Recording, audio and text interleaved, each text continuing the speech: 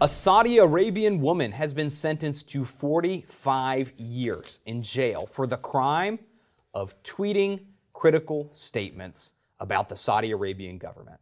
Uh, Farron, uh, this one here again sounds uh, unfortunately a lot like the situation in, in Russia, and this is not the first time this has happened. Uh, talk about a little bit about what, how is Saudi Arabia charging people with for, for, for, for retweeting somebody, and they're putting them in jail for retweeting someone. It's, it's terrorism.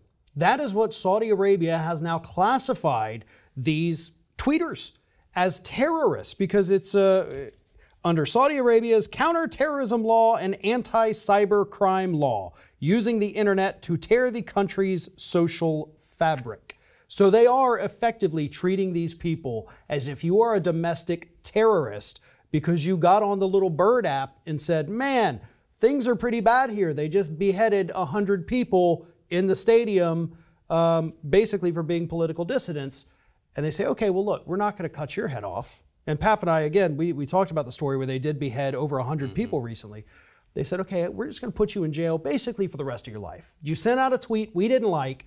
You're in jail for 45 years. Another woman recently in jail for, I think, 34 years right. for a tweet. A tweet. And you're removed from society. For a retweet. I, I, I, think that's what the that's oh, what I was God. reading is that it's and there's still a lot of information that's not known here, which is part of what's frankly even more scary because you hear about the situations that we do have the knowledge of, but somebody somebody hits the retweet button.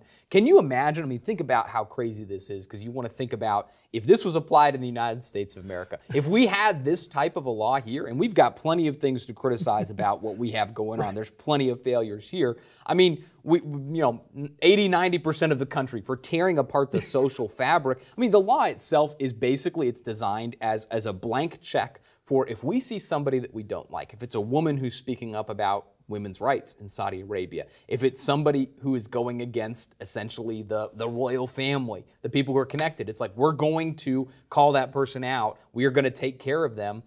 And maybe if they're lucky, they're not going to get beheaded, but they're going to go away uh, for decades. I, I, think it's unconscionable. Yeah. Uh, I mean, I, I, don't think that's a controversial statement for anybody who believes in any sort of, any form of free freedom, democracy at all. What this raises to me, the issue we, you and I have talked about before, Pap's talked about as well, is, you know, what are we doing with this country? Why are we still so cozy with a country that is actively doing this, um, that's unrepentant in doing it, uh, and just absolutely, frankly, destroying people's lives over nothing. Yeah, we, we get reports every single year when they do the you know worst human rights abusers. Saudi Arabia is always right at the top of that list in terms of violating their own citizens' human rights. And they have been for many, many, many years. And the United States, whether it's a Democrat or a Republican, it doesn't matter. They look at that and they say, ah, They've got all that oil we want. Oh, they buy a lot of weapons from us. They're putting a lot of money in the economy, so we're going to look the other way when they're killing people, when they're bombing other countries, or when they're throwing somebody in jail for the rest of their life because they retweeted something that they didn't like. Or, or let's let's take it a step further. Uh, when they're supporting terrorism, we have yeah. you know Chris Paulos and our anti-terrorism team here at Levin Papantonio Rafferty. We we are handling those cases that directly involve Saudi Arabia.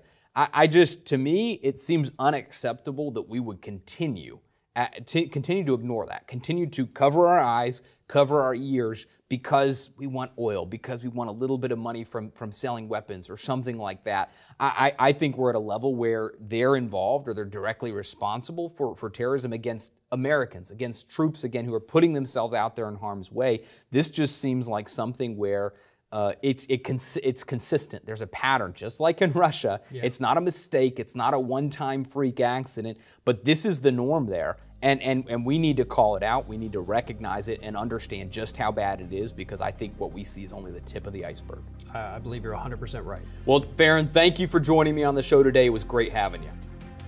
That's all for this week, but all these segments will be available in the coming week right here on this channel. And you can follow us on Twitter at America's Lawyer. I'm Michael Bixby, in for Mike Papantonio, and this has been America's Lawyer, where we tell you the stories that the corporate media won't tell you because their advertisers won't allow them or their political connections won't allow it. We'll see you next time.